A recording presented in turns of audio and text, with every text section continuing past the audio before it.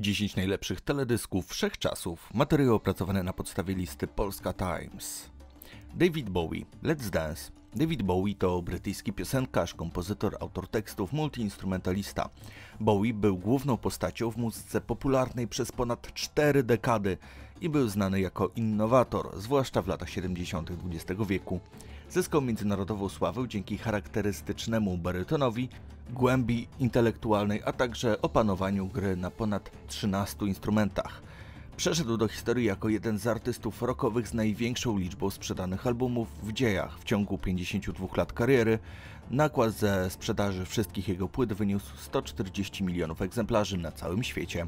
Zmarł 10 stycznia 2016 roku. Bowie opisywał teledysk do swojego hitu z 1983 roku jako prosty i bezpośredni przekaz opowiadający się przeciwko rasizmowi i opresji. Utwór zawiera również przesłanie dotyczące integracji kultur. Z tego względu stanowi ważny punkt w historii muzycznego wideo.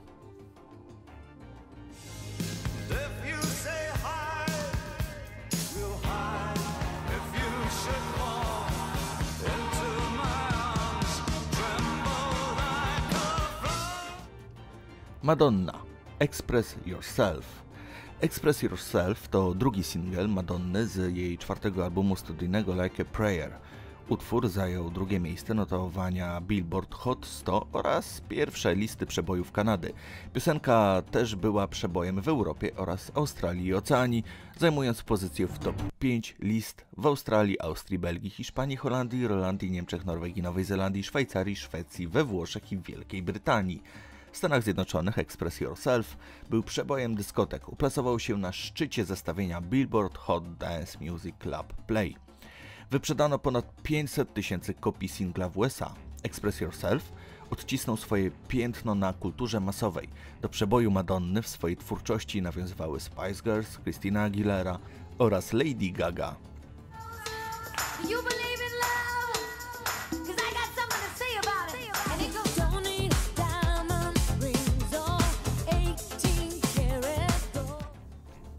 Fatboy Slim Weapon of Choice.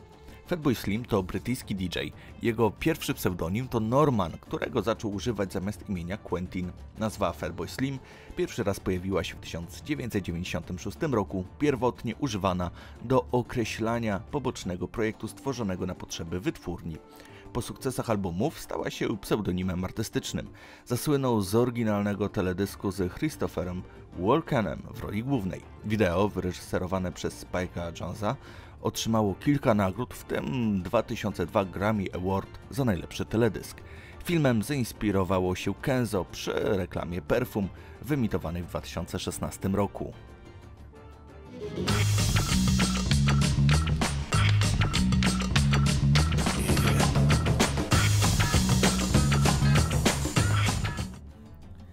Guns N' Roses November Rain. Ballada rockowa, utwór składa się z trzech partii solowych gitarzysty Slasha, które wspierane są przez orkiestrę symfoniczną oraz frontmana Exla Rose'a na fortepianie. Wideoklip wyreżyserował Andy Marahan. Film pokazuje Exla Rose'a oraz jego ówczesną dziewczynę, którzy biorą ślub kościelny. Budżet tego teledysku wyniósł ponad półtora miliona dolarów, co wtedy było najwyższą kwotą przeznaczoną na realizację wideoklipu. Obecnie zajmuje 21 miejsce na liście najdroższych wideoklipów wszechczasów. Na potrzeby klipu wynajęty został teatr w centrum Los Angeles.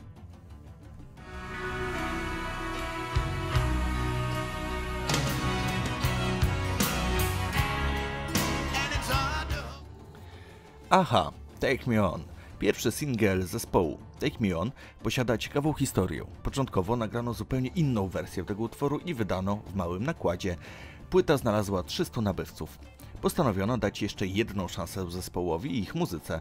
Poprawiona wersja Take Me On zawojowała listy przebojów i sprawiła, że zespół stał się w roku 1985 znany na całym świecie. Piosenka słynie także z nowatorskiego teledysku łączącego w niezwykły sposób film z animacją. To on.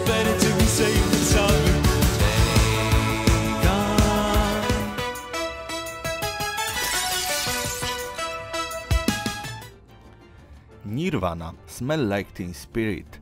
Singiel amerykańskiego zespołu grunge'owego wydany w 1991 roku na albumie Nevermind. Został napisany przez Kurta Cobaina, Krista Novoselika i Dave'a Grola.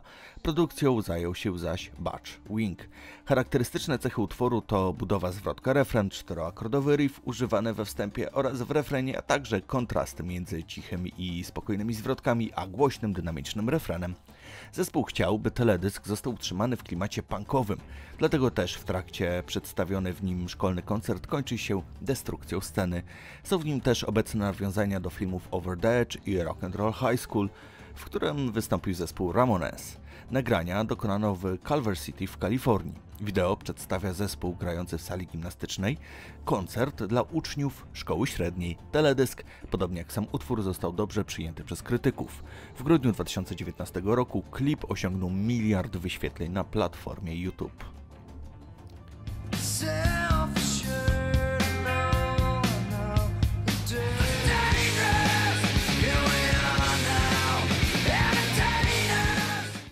George Michael Freedom 90 Singiel wydany w 1990 roku przez wytwórnię Columbia Records. Utwór ten został napisany, wyprodukowany i wykonany przez artystę. Końcówka 90 dodana do tytułu znalazła się tam, by zapobiec zbieżności z utworem zespołu Wham, który również nazywa się Freedom. W 1990 roku George Michael był tak znużony rozgłosem, że oświadczył, że nie wystąpi już przed kamerą. W rezultacie nie pojawił się na żadnym teledysku ze swojego nowego albumu. Zamiast tego w teledysku, który wyreżyserował David Fincher, wystąpiła dziewiątka modeli, pięć supermodelek, które pojawiły się na okładce brytyjskiej edycji jednego z pism, a także najlepsi modele. W teledysku przedstawione jest spalenie w ogniu trzech rzeczy, które pojawiły się w teledysku do utworu Fate z 1987 roku, które były symbolicznie jego wizerunkiem. Skórzana kurtka, gitara oraz szafa grająca, która wybucha. Każde wyśpiewane słowo Freedom razem z chórkiem w refrenie towarzyszy jeden strzał, którego efektem było spalenie lub eksplozja.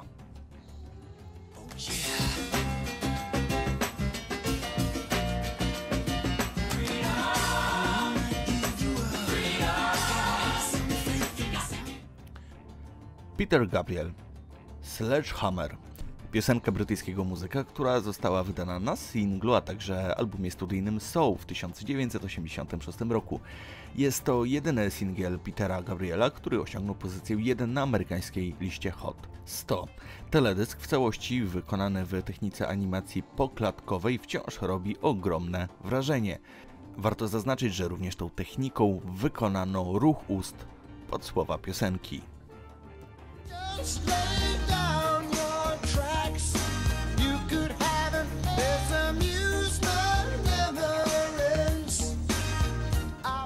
Queen, Bohemian Rhapsody, balada rockowa autorstwa Freddie'ego Mercurego, która często wymieniana jest jako najlepszy utwór w historii muzyki popularnej. Do utworu zrealizowano teledysk, który rozpoczął nowy nurt w historii teledysków muzycznych. Ballada rockowa Bohemian Rhapsody uznawana jest za opus magnum grupy. Mimo tego utwór znalazł się na singlu i okazał się ogromnym sukcesem komercyjnym, stając się punktem zwrotnym w karierze zespołu.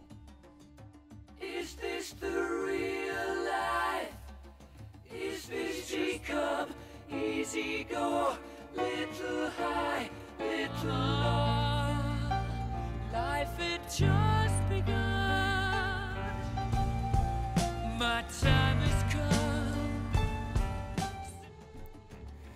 Michael Jackson, Thriller, singiel z 1984 roku z jego albumu o tym samym tytule wydany przez wytwórnię Epic.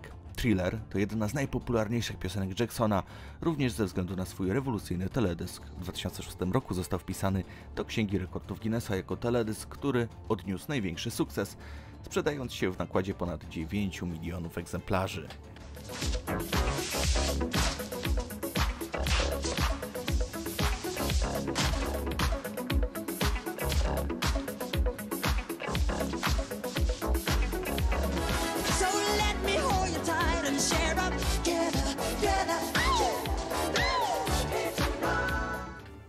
Dzięki za obejrzenie do końca, mam nadzieję, że ten odcinek Wam się podobał. Dajcie znać w komentarzu, o czym chcecie kolejną dyszkę i zapraszam Was na moje dwa pozostałe kanały, a to ciekawe oraz światowa historia. Trzymajcie się, cześć!